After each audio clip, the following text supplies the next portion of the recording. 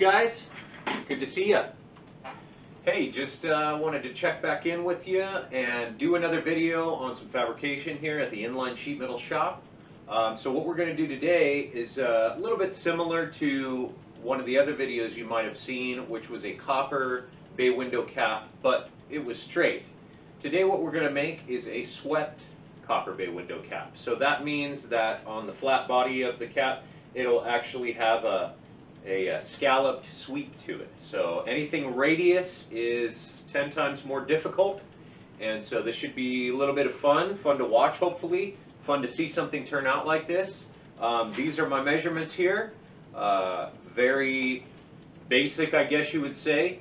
Um, so I'm going to take these measurements here. Very simple measurements, like I said. That's basically a top view of what we have there. And uh, we're going to go right out here in the inline sheet metal shop. We're going to bust this thing out in some 16 ounce copper. So, take a trip with me.